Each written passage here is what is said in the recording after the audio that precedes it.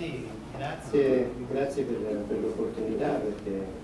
ehm, per un medico non c'è cosa più bella che, che, collaborare a tutto ciò che, che, fa crescere la medicina, soprattutto a Napoli,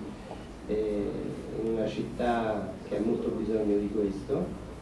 dove ci sono delle grandi professionalità, delle grandi intelligenze, c'è una scuola universitaria eh, di un certo livello e quindi la, è un onore e deve essere un onore per, per qualunque medico partecipare a una manifestazione del genere. Noi lavoriamo molto con la prevenzione, infatti pensiamo che lo sport sia, aiuti moltissimo a prevenire eh, qualunque tipo di patologia, perché qualunque patologia comunque porta a un disagio mentale e lo sport aiuta a superare il disagio mentale.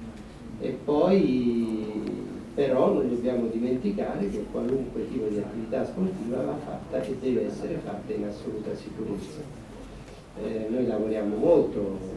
questo e cerchiamo di, di dare il nostro contributo proprio per rendere lo sport sicuro sia ai livelli professionistici perché come voi sapete